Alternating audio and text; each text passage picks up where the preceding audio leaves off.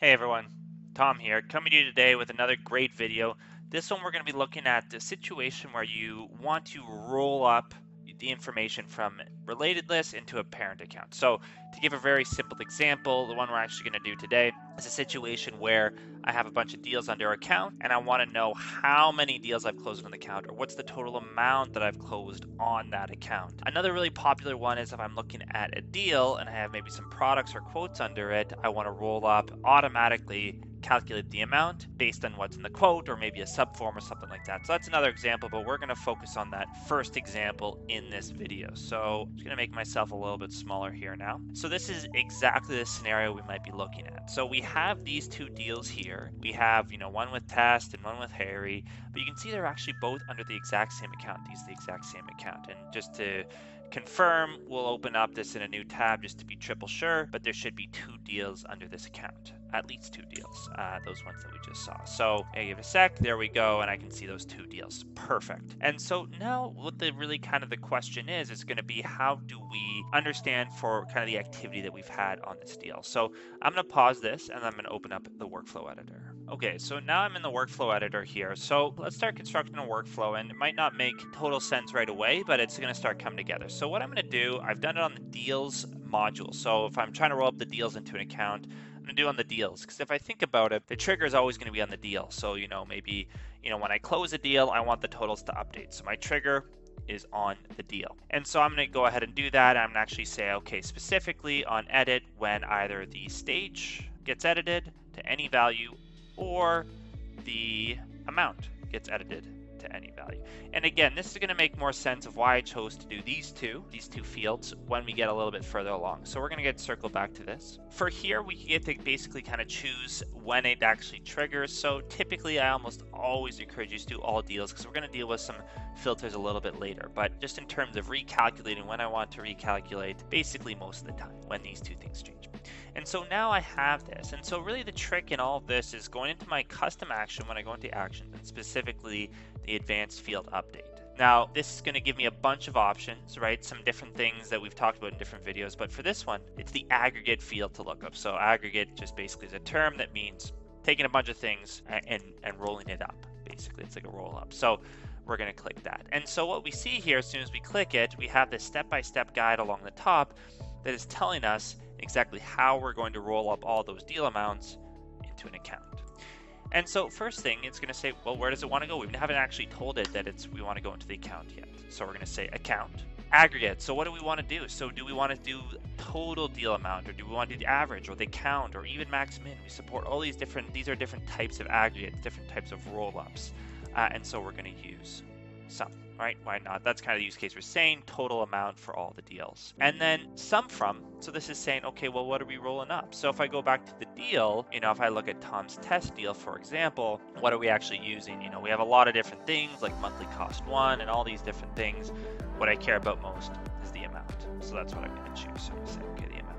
Finally, just to kind of bring it all together, we're going to do conditions. So what deals are we going to be adding up? Are we going to add up all deals?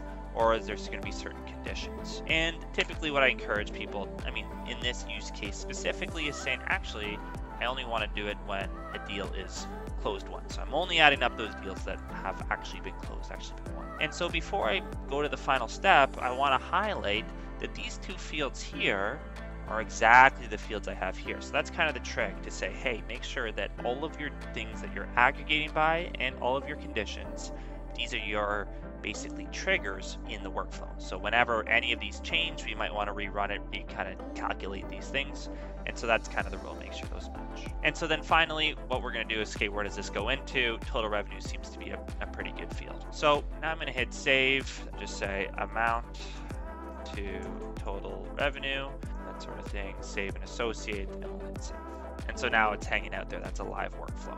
And so now what I want to do basically is come back to the deal and just re-trigger it, right? And if remember, the trigger point was in either the amount or the stage gets updated. So let's do that. So let's come in here. I'm going to just do the amount. Why not? So I'm going to come in and I'm going to say 1250. Amount's changed. Whatever, it's just a test deal. And if I come over into my timeline here, you can see, uh, maybe if I just quickly refresh, a second.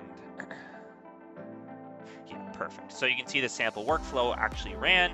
The amount of total revenue, if that was the name of my advanced field update, that looks like it ran. So that's really good. Looks like it worked as we expected on the deal. But the real moment of truth is going to be over here on test company. So again, this is all real time. Let's refresh the page, see what happens. Uh, there we go, refresh. And so if we did it properly, the total revenue is going to be updated. So let's see what it looks like. and yes, 1500. So right now you might be saying, but wait a sec, it wasn't at 1250 here, why is it 1500? But let's kind of take a real quick look at the deals. And if you remember, we had a condition, and the condition was the stage had to be closed won. So even though we edited this deal, it actually only really counted this deal, this 1500, because that was the only one that was closed won. So now let's just say, you know, let's do another example where maybe this one actually closes out. So I'm going to pause the video and do it just because we have some mandatory fields. Okay, so now I've updated that. And so now this is actually closed won also. So if we think about it, what should happen? So this is now showing closed won, So my total revenue should actually be 2750, right? If I add those two together. And so again, moment of truth. So the scenario is, okay, we just closed another deal with this account. That's great. We need the total to automatically update and let's take a look and see it happen exactly 2750 so really kind of applicable great use case and there's a lot of other things we can do with it. So really kind of great we can count max all these different things. And if you are interested in doing this yourself for your crm we use a tool for that that advanced field update. Is part of a bigger tool called wes workflow enhancement suite and you can see it all right here. If you just go to bluroot.ca slash wes goes through basically how to get started, all the things we can do, why people use us, gifts and that sort of thing to get you started.